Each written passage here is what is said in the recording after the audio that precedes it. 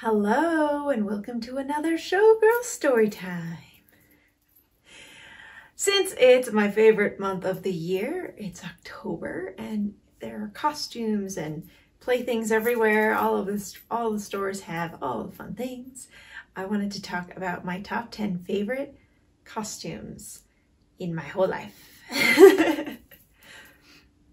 I have a mix of costumes from growing up and be in professional shows and some of the costumes I've created in the last five or six years. Number 10 is my Moonlight Trio costumes I created for a mini showgirl production. And uh, that was probably my favorite project to date as far as like something I've made. Um, just the process of it was so much fun. My love created three separate crowns, two that were the same because they were the chorus girls, and then there was one principal. And that those costumes are constantly evolving.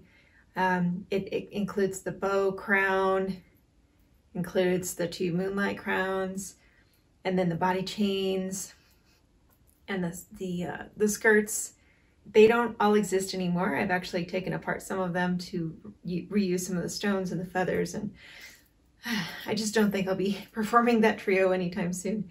But I have the individual costumes. So I have the bow with the body chain, and then I have the moonlight with the body chain. I still have the bras and G's. Uh, the only thing I don't have are the feathers and the hats.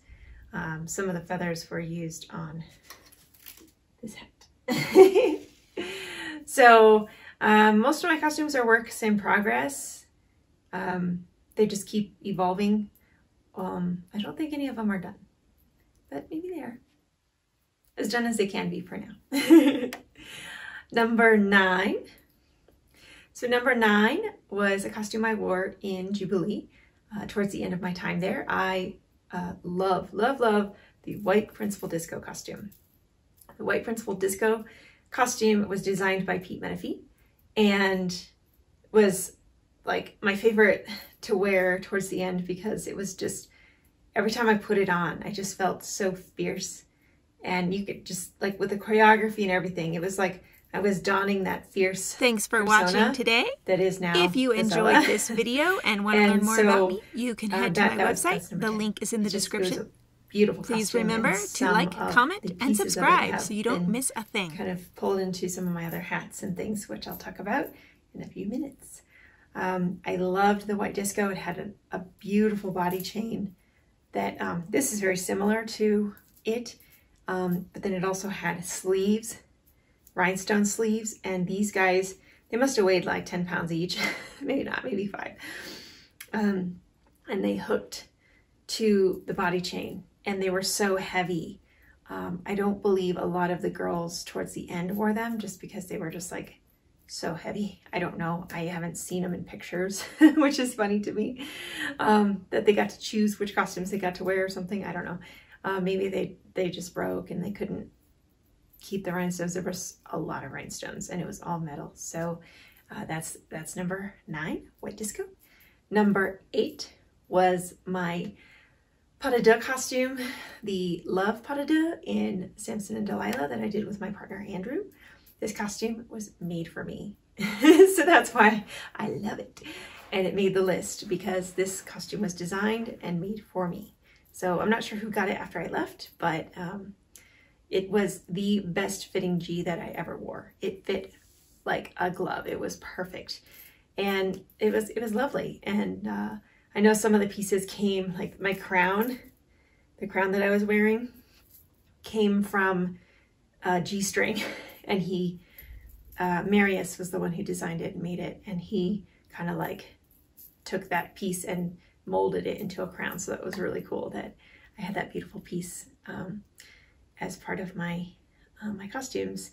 And um, yeah, that was my love costume. Number seven is my Gazellus costume. And that's the one I've made recently. It's taken me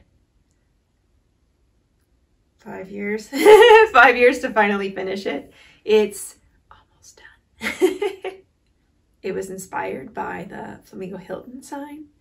And you can kind of see the, the horizontal um, inspiration and even the shape of the, flames. And of course I chose purple because I love purple. And um, then every, uh, let's see, the crown came last. The crown was like the last piece to be done, but everything else, the, the bra, the G, the dress, all of the jewelry, the body chain, that was my very, very first body chain. So it's not as um, robust as this one.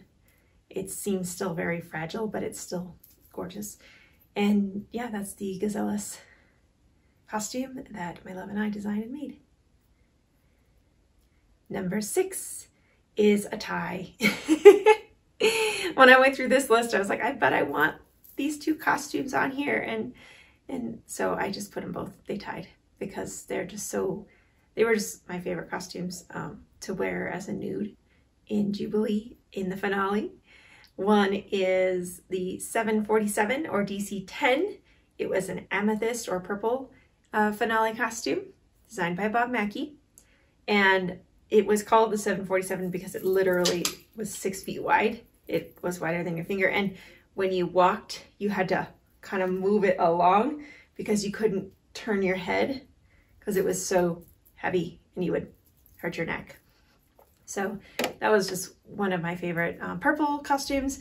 And then the red costume, the pizza hat was another favorite. I only got to wear that for three weeks. so that hat normally is worn by a six foot nude at least, just because it's all hat. The entire, it's a, it's just a giant pizza and drapes and drapes and drapes of, of ostrich and stones and everything. And then, you know, the skirt.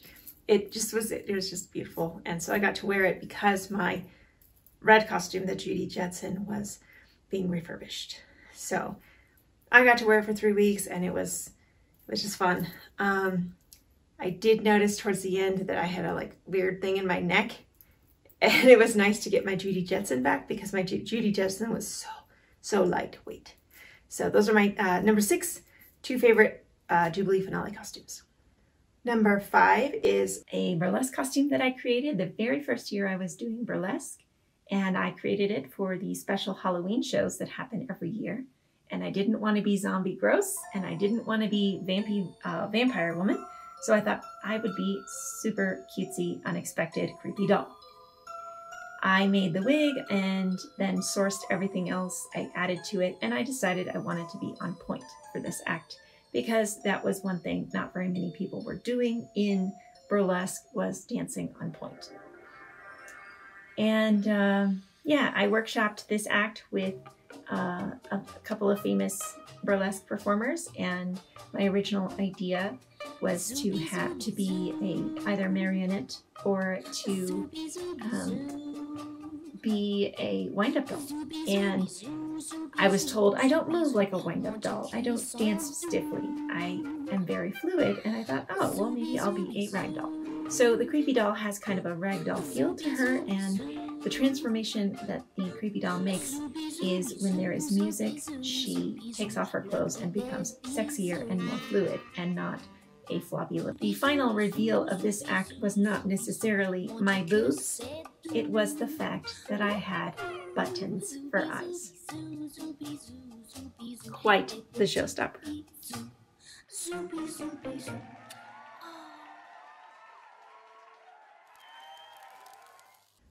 Number four, completely not pretty costume, but it was probably the most clever costume I think I've ever done. And that was the year that I was pregnant on Halloween.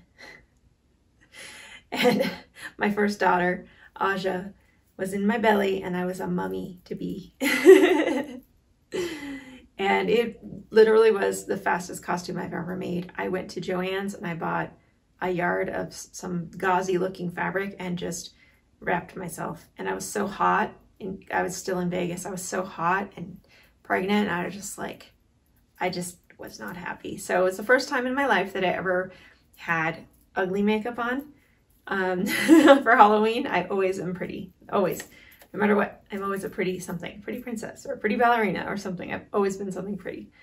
I was never into the gore. So that's number four. Number three, also a childhood costume. I was uh, Wonder Woman. She was my idol growing up and my mom made these amazing costumes. Hopefully I have a picture to share with you because I couldn't find it. Um, hopefully my sister has it. um, yeah, I loved Wonder Woman and my mom made the whole thing. I don't know how she did it, but she figured it out and she made it and it was awesome. And I felt so strong. and number two, my second favorite costume of all time is this one right here. My behemoth hat and noir body chain. it's it just is like my favorite costume to put on lately. It just it feels so good. It's a real show a real showgirl hat now.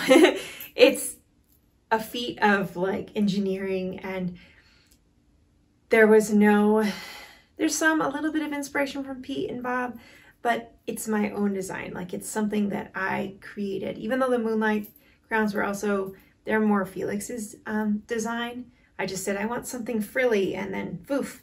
And so he kind of just figured it out because I just don't like my sketches. So this is like my second favorite. Uh, the color yellow is one of my favorites and um, it has five boas on it. So that's really cool and I love it. Oh no, not five, six. I think I need a seventh. So I won't be able to get the yellow, so I'll probably do a white one down the center. Maybe someday. Um, see, I told you my costumes are never done. uh, so are you ready to find out my favorite costume of all time? I bet you already know. if you've been around long enough, you know what my favorite costume is. It was Black Principal Disco in Jubilee. And this costume was so fun to wear. It was um, designed by Pete Menefee for uh, the, the discos. Um, two of the girls wore these costumes and had the beautiful pheasant feathers like these and little yellow, um, I think he said duck feathers, tips and uh, uh, uh, sequins on the end. And it just felt so fun to wear and the way it moved. I mean, that's why I like I've been kind of swaying in this hat because it's just fun to move and these feel these feathers around you and it's just, it just feels good. So that's it for my top 10 favorite costumes of all time. that it's just, it's nice that, um, it's nice to remember some of these costumes that I've worn and how like I've come out like of a, of a shell or I feel like the real me has come forth when I put these costumes on. So that's another reason some of them were my favorites, like the, the white disco, like my fierceness was able to come out. And uh, yeah, just costumes are amazing. They're transformative, even, even when you're not wearing them, just your body remembering how it feels to wear them. I still remember how some of the costumes in Jubilee felt to wear. And, you know, I relish that feeling because it can't happen anymore, sadly. So thank you for joining me. I hope that you are enjoying this fun month and I hope you dress up this weekend and go have, well, don't go have some fun actually. It's a full moon on a Saturday on Halloween. So please be safe if you do go out. Please be safe. And I will see you in the next video. Bye.